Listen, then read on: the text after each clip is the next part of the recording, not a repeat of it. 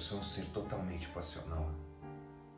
Eu sou movido pela emoção, pela paixão.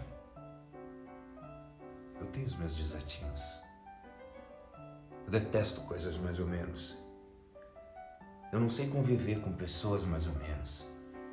Eu não sei amar mais ou menos. Eu não me entrego de forma mais ou menos. Se você procura alguém coerente, sensato, politicamente correto, racional, cheia de moralismo, esqueça-me.